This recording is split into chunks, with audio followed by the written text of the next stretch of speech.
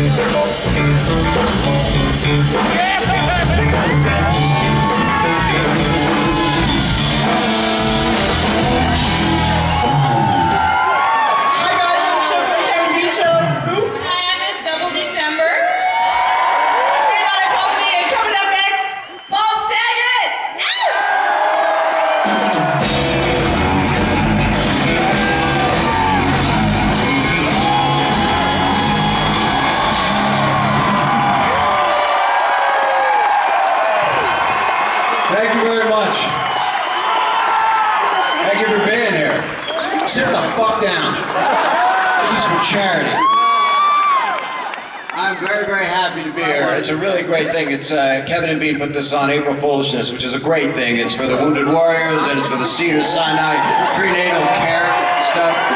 Don't act like you fucking care. I care. I care a lot. You shut up, ho. Now, when I say that, don't do as I do. Don't you cheer that. That's a nice girl. I know that because I know her mama. But the thing is, never did it.